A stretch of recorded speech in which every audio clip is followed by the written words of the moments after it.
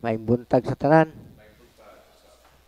Ang atong ibanghelyo mga igsoon nag hisgot ni sa duha kasugo. Higugmaon na to ang Ginoo ug atong isig katawo. Duha siya mga igsoon pero dili kini pwede magbulag.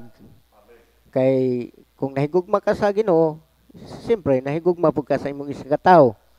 Kay kung wa ka nahigugma sa imong isig katawo, wa pud ka mahigugma sa sa Ginoo. Ato nang mabasa niya mga igsoon sa unang Juan kapitulo 4. Sa atong ebanghelyo mga igsoon, nagaingon siya diri nga sa kapitulo 36 magtutudlo unsa man ang labing dakong sugo sa balaod si Jesus mitubag higugmaa ang Ginoo nga imong Dios sa tibuok mong kasing-kasing, sa tibuok mong kalag, ug sa tibuok mong hunahuna. Mga igsoon, naga hisgot kini sa katibukan natong kasing-kasing. Nag-ingon dire sa Deuteronomio kapitulo 6 versikulos 4 ngadto sa 5. Hinumdumi katawhan sa Israel ang Ginoo ug ang Ginoo lamang mooy atong Dios. Higugmaa ang Ginoo nga inyong Dios sa tibuok ninyong kasing-kasing kalag ug kusog. Mga igsoon, nagahisgot kini nga higugmao na to ang atong Ginoo sa tibuok natong kasing-kasing. Tibuok. Makita na to na mga igsoon kanang usa ka utanta mansanas kung ato kanang ingkitan. Tibuok pa ba na o di na? Kung nanay pahak, di na mga igsoon. Mao sa na atong pagpangalagad sa Ginoo. Sama sa atong pagsimba matag Domingo.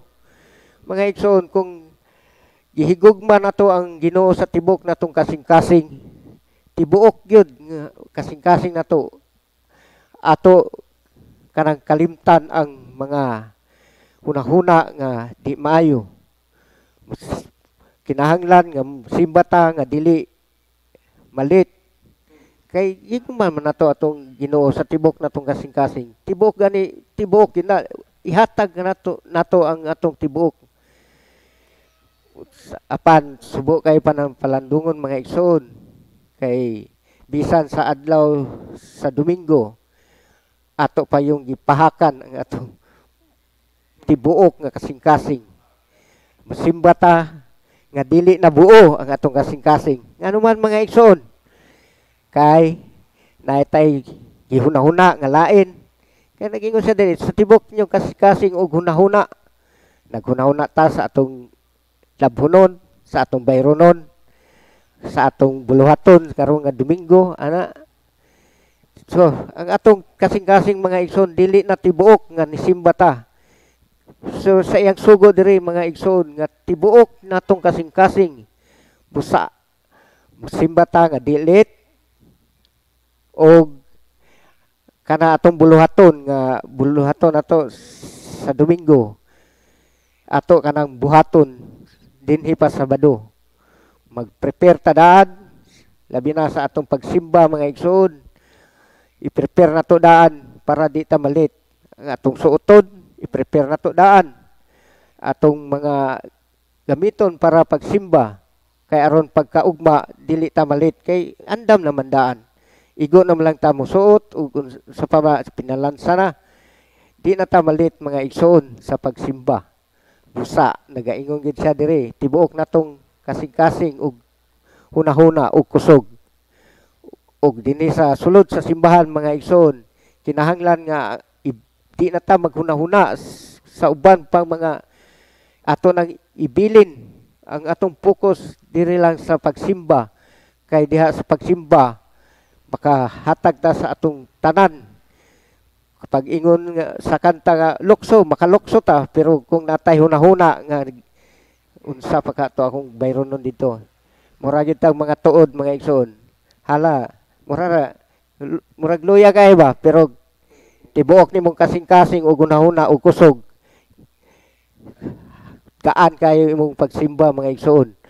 Happy kayo ah, sa di na ka mauwag unsay isulti na si mong abay. Ah, bahala na. Basta simbatas Ginoo. Walay tinuray nga pagsimba mga igsoon atong tibuok nga kasing-kasing at tibok nga hunahuna atong kusog atong ihatag sa Ginoo. Diri sa ikaduhang sugo mga igsoon nagaingon diri. Ang ikaduha nga labing importante nga sugo sama sa una higugma ang imong isig kataw sama sa imong kaugalingon ato makita mabasa sa Leviticus kapitulo 19 bersikulo 18 nag-ingon Ayaw panimalos ug ayaw usab pagdumot sa imong kadugo higugma ang imong isig katawo sama sa imong paghigugma sa imong kaugalingon. Ako mo ang Ginoo. Nagsugo pagit sa diri mga igsood nga ayaw panimalos ug ayaw pagdumot ayaw usab pagdumot sa imong is, kadugo. Mga igsoon sakit ngayon mga kadugo pa yun parinte na to. So, kung sa tawhanon pa uh, kining akong parinte bulaos yung gani daugan mahay gini labi na parte sa mga kabtangan may igsoon diha yun. Kabilin sa mga atong mga ginikanan diha yon magdinumutay mga igsoon mga igagaw. Pero gisugo kita mga igsoon diri pag ingon nga ayaw panimalos ug ayaw usab pagdumot sa imong kadugo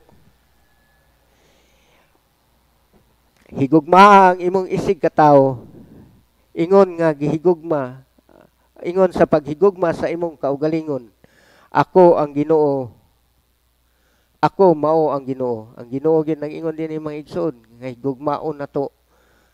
Di ta angay magdumot. Kay manimalo musulod na gani ang pagpanimalos. Sulod na ang pagdumot. Kay di man ka manimalos kung wa ka magdumot na nga tao. So di gid di gid maayo ang pagdumot.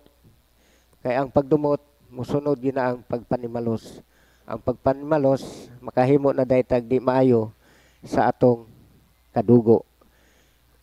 Uh, uban ipabarang, ipapatay, sulod na na niya tungod sa pagpanimalos o pagdumot. Ahong gingon ganiha mga igsoon nga duha ka sugo pero dili pwede bulagon. Kinahanglan mag-uban yun na mga igsoon. Atong mabasa diri sa Unang Juan kapitulo 4 bersikulo 21 nga 20 ngadto sa 21. Kung may moingon gihigugma ko ang Dios apan nagdumot di ay siya sa iyang isig katawo bakakon siya. Bakakon maigsod kung nagingon ta gihigugma nako ang Ginoo apan nagdumot ta sa ato isig katawo bakakon kuno ta. Usa ta ka bakakon bakakon siya kay unsaon man niya paghigugma sa Dios nga wala niya makita kung wala niya higugmaa ang iyang isig katawo nga iyang makita niya. Oh, bakakon kun ta mga igsoon nga ingon ta nga nahigugma ko sa Dios nga wala na to makita ug nagdumot ta sa atong isig katawo nga atong makita kay ang ang tao gihimo sa sama sa dagway sa Ginoo busa kung nag wa ka nahigugma sa imong isa ka tao wa pud ka nahigugma sa Dios diri sa kapitulo 21 sa Juan unang Juan kapitulo 4 bersikulo 21 ang gisugo ni Kristo kanato mo kini. Higugma ang Dios ang Dios kinahanglan nga higugmaon kinahanglan nga maghigugma usab ikaw sa imong isig katawo higugma ang gisugo ni Kristo kanato mo kini higugma ang Dios o kinahanglan maghigugma usab ikaw sa imong isig katawo. Mo ni gingon mahigugma ta sa Dios kinahanglan mahigugma pud ta sa atong isig katawo. Mo na gingon ni nga ni Ginoong Kristo ang sugo niya. Ug diri sa katapusan mga igsoon nga bersikulo atong makita sa Roma kapitulo 3 uh, kapitulo 13 bersikulo 10 nga nag-ingon diri mga igsoon Ang nahigugma sa iyang isig katawo dili makahimog dautan ngadto sa iyang isig katawo. Amen. Kung kita nahigugma sa atong isig katawo mga igsoon dili gyud ta ka makahimo og dautan ngadto kaniya dili ta maka mag makada maghimog kadaot sa atong isig katawo kay gingon ni Ginoo Kristo diri ang nahigugma sa iyang isig katawo dili maka makahimog dautan ngadto sa iyang isig katawo Muna mga igsoon, kung kita nahigugma sa Dios, kinahanglan pud nga nahigugma ta sa atong isig.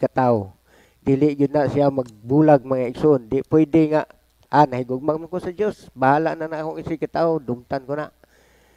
Di ba pwede mga igsoon kay giingon niya diri kung ikaw nahigugma sa imong isig dili ka makahimog dautan ngadto sa imong isig kataw. Usa di gyud na siya pwede nga bulagon mga igsoon. Usa mga igsoon, katapusan kinahanglan nga kita mga amahan muugyod ang manguna sa atong pamilya ngadto sa pagsimba kay unsa gani ang makita sa atong mga anak mao na ilang sundon. Aalala naman sama sa usa ka train kung ang ulo Siyempre, ang ikog, musunod yun na siya. Di yun na pwede mamulahi. Kay di man sila pwede. Usa, importante yun sa atong mga amahan nga magdala sa atong mga anak sa pagsimba o magdala sa maayong mga buhat kay kung sa gani ang atong ang makita sa atong mga anak mo gina ilang sundon kung ang amahan dili hinimbahon. Masamot na ang anak. Kay awa maging simbas papa. Ako pa kaha. Ana gina maigsoon. Busa importante kayo ang amahan nga mo'y modala sa iyang mga anak. Ngadto sa pagsimba sa paghimog maayo mga butang. Dili na to pakiton atong mga anak sa dili nga mga maayong buhat na to. Um, manakoy kauban nga sugarol sugarol mga igsoon Yang anak bata pa kayo. Kurat kayo siya dito sa bungan. Kaya tuwa naman yung anak. Tuwa mo po nabong. Di, sa, nga, amahan, uli. Wala na siya manugal. Wala mga igsoon. Unsa gani makita sa atong mga anak. Huwag ginay sundon. Busa magpakita tag maayo ngadto sa atong mga anak. Maayo mga ihemplo sa atong pamilya. Kay mao kana ang katuyuan sa Dios din sa kalibutan nga kita magsubay sa dalan nga matarong. Wa natin ebanghelyo palihog manindog